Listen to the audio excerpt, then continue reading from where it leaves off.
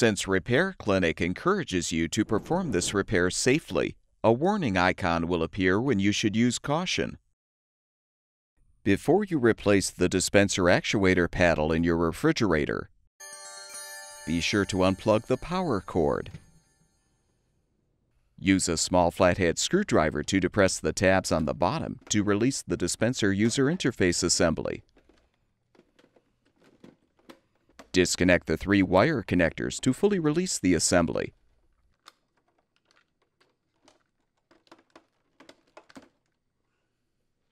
Using a quarter-inch socket or nut driver, unthread the four mounting screws, securing the ice store assembly to the housing.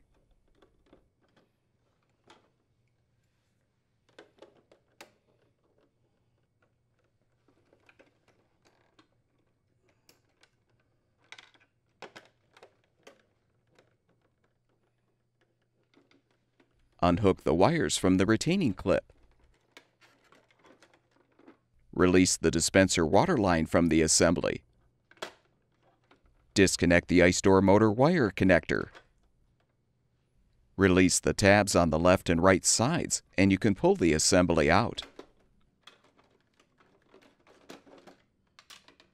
Next, remove the drip tray and unthread the two lower screws and the two upper screws, securing the dispenser housing.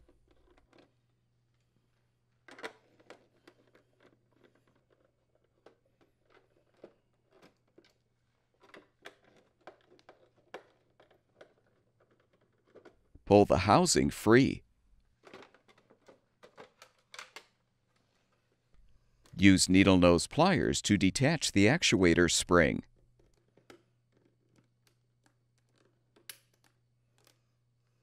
You can now release the tabs to detach the old actuator paddle.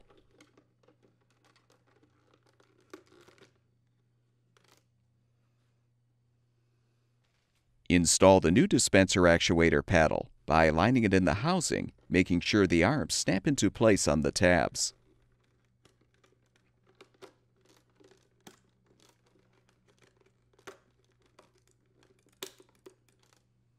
Realign the actuator spring.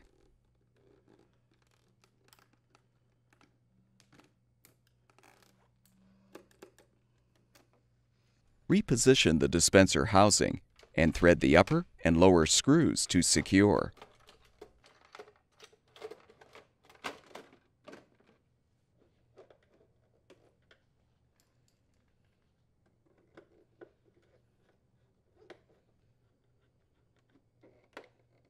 Replace the drip tray.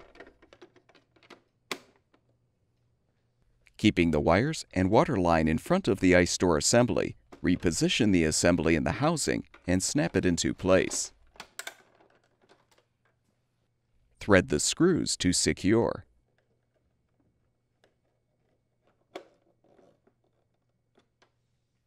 Connect the motor wire connector and hook the wires behind the retaining clip.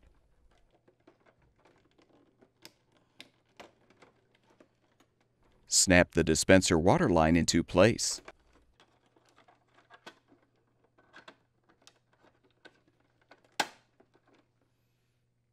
Reinstall the user interface assembly by first connecting the wire connectors to the appropriate terminals.